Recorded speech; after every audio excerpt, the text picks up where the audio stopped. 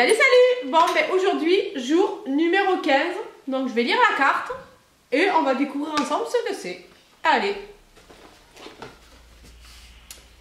Miam Régale-toi sans moi. Régale-toi sans moi. Attendez.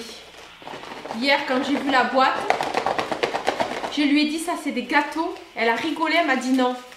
Régale-toi sans moi. Ne me dis pas que ça fait 6 mois que ces gâteaux sont dans la boîte quand même.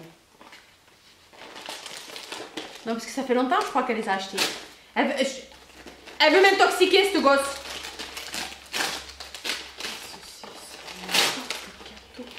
Pierre Morel, créateur de macarons. Elle m'a acheté des macarons.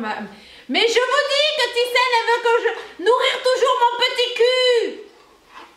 Mmh, des macarons. Alors, je connais pas du tout Pierre Morel. Mais en tout cas, j'espère qu'ils sont pas périmés. hein. J'espère que tu les as pas achetés a 6 mois. hein. Mmh, des macarons.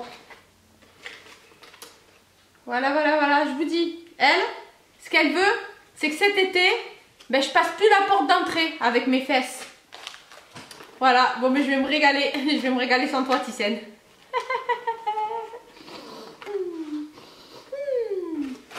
Voilà, bon, ben du coup, on se retrouve demain pour le jour numéro 16. Alors, je sais pas ce que c'est. Ah, si, je le vois.